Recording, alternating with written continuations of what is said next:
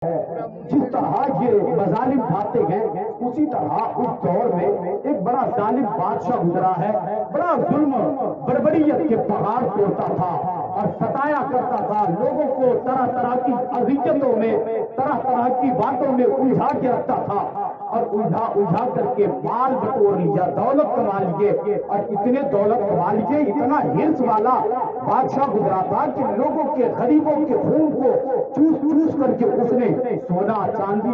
جواہرات موتیوں کے ڈھیر لگا دیے اور پھر جب موتیوں کا ڈھیر تیار کر لیا تو اس مال کی حفاظت کے لیے اس نے ایک بیت المال بنایا، مال کو رکھنے کے لیے گھر بنائے اور کہاں بنایا گھر کہاں مال رکھنے کے لیے گھر اور مکانات تعمیر کیے اس جگہ جہاں پر کوئی انسان کا گزر نہ ہو جنگلوں میں، اس مال کو تیار کرنے کے بعد، اس مکان کو تیار کیا، تیار کرنے کے بعد اپنے پورے مال کو سونے چاندی اور جواہرات کو اس بیت المال کے اندر مکفل کر دیا، بند کر دیا۔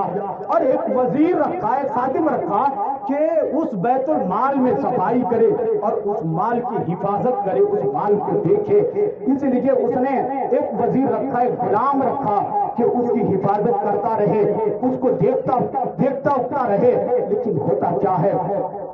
وزیر اپنی پوری ذمہ داری کے ساتھ اس کام کو سر انجام دیتا ہے۔ ایک دن کیا ہوتا ہے کہ بادشاہ وقت اس راہ سے گزرتا ہے۔ جو وزیر تھا، جو جنگلوں میں جو بیت المال بنائے گئے تھے، جو جنگلوں میں جو گھر تعمیر کیا گیا تھا، جس میں مال سونے اور چاندی اور جواہرات رکھا گیا تھا۔ اللہ اکبر۔ وہ وزیر، وہ خاتم کے ذہن سے بات اتر جاتی ہے صاف صفائی کر کے وہ گھر کو نکلتا ہے۔ دروازے پر تالا لگانا بھول جاتا ہے۔ اتنے عرصے میں بادشاہ وقت کا گزر ہوتا ہے۔ جب بادشاہ اپنے بادشاہ جب اس راہ سے گزرتا ہے تو اس کی نظر اپنے بیت المال، اس کے بیت المال پر پڑتی ہے۔ اس مکان پر نظر رکھتا ہے تو کیا دیکھتا ہے؟ دروازہ کھلا ہے۔ اور وہ جب دروازہ کھلا دیکھا تو حیران رہ گیا کہ کیا پتا ہمارے بیت المال کے دروازے کھلے ہیں، تالا کھلا ہوا ہے کہیں ایسا تو نہیں کہ کوئی بیت المال کے اندر اندر سے سونا اور چاندی اور جواہرات کوئی چرا کے نہیں لے گیا، کوئی بیت المال کو تو صفایا نہیں کر گیا۔ اتنا سوچ کر کے تھوڑے وہ رکھا روکا اور روکنے کے بعد بیت المال کے اندر داخل ہوا۔ اور بیت المال کے اندر داخل ہونے کے بعد سونے چاندی اور جواہرات کو ٹٹول ٹٹول کے دیکھا۔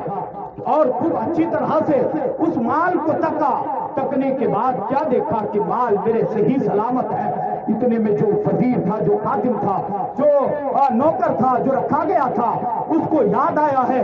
بڑا ظالم بادشاہ تھا، ڈر گیا۔ کہیں ایسا نہ ہو کہ بادشاہ اس راستے سے گزر جائے، اس کی نظر بیت المال پر پڑ جائے۔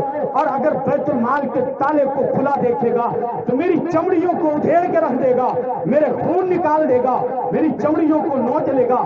وہ ہاپتا کاپتا ہوا آیا اور آنے کے بعد بیت المال کے اندر جو بادشاہ اندر رہ گیا اور باہر سے وزیر آ کر غلام آ کر تالا بند کر دیتا ہے۔ تالا بند کر کے وہ وزیر، وہ غلام ہے۔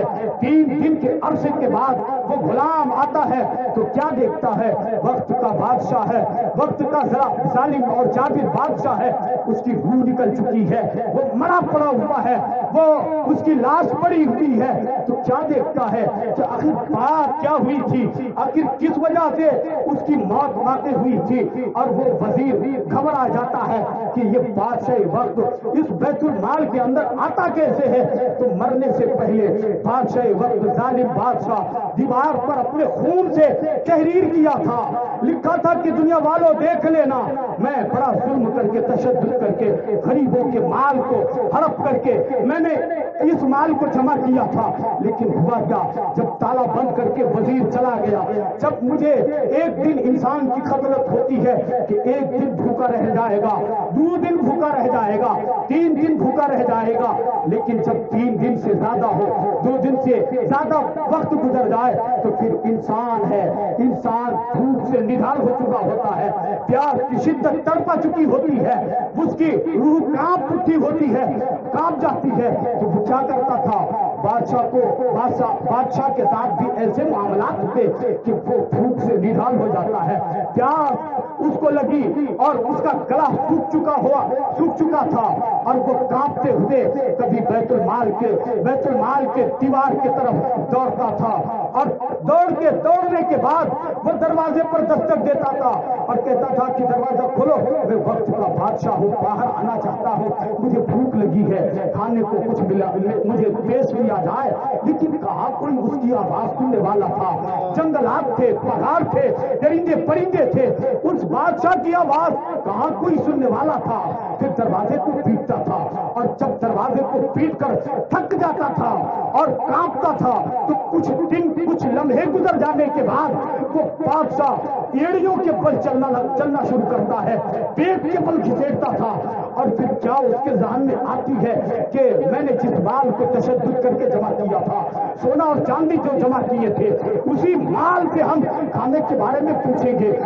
اسی سے ہم کھانا کھانا کے بارے میں سوال کریں گے۔ سونا چاندی اور جواہرات، موتی، یہ قیمتی مال ضرور ہے۔ کھانے کی چیز نہیں ہے۔ یہ قیمتی دھات تو ہے، لیکن تین اشیاؤں کو کھایا نہیں جا سکتا۔ بتاؤ، سونا کھانے کی چیز ہے، موتی کھایا جا سکتا ہے۔ نہیں کھا سکتے، قیمتی مال ضرور ہے۔ پھر وہ بادشاہ کیا کرتا ہے؟ سونے کے ڈھیر کے قریب جاتا ہے۔ اور جواہرات جو اس نے بیت المال کے اندر جمع کیا تھا، اس کے طرف جاتا ہے اور کہتا ہے کہ مجھے بھوک لگی ہے، مجھے بھوک کی شدت ہے، مجھے پیاس لگی ہے، مجھے کھانا کھانا مل جائے، مجھے پیاس کی شدت ختم ہو جائے۔ تو وہ بادشاہ جب سوال کرتا تھا، جب یہ کہتا تھا، تو رب سجلال نے اس بے جان سونے کے اندر بے جان بے جان دھاتوں کے اندر بے جان پتھروں کے اندر بولنے کی قوت عطا کرتا ہے۔ رب جلال جب بولنے کی قوت قوت ایک گویائی عطا کرتا ہے، تو وہ بے جان پتھر بول پڑتے ہیں کہ ایک وقت کا بادشاہ، بڑا ظلم کر کے، تشدد کر کے تو نے مجھے جواب کیا تھا۔ آج تجھے بھوک لگ رہی ہے۔ ذرا مجھے کھا لے، اپنے بھوک کی شدت کو ختم کر لے۔ لیکن سونا نہیں کھا سکتے۔ تو بادشاہ وقت اس پتھر کو، اس سونا اور چاندی کی دھات کو اٹھاتا ہے اور اپنے ہاتھ پر دے مارتا ہے۔ جب اس کے جسم سے خون نکلتے ہیں، تو خون کے، خون کے خون کے خطرات سے دیوار پر تحریر کرتے ہیں کہ دنیا والوں اس دنیا کے فریب میں مت پڑنا۔ یہ دنیا فریب کی جگہ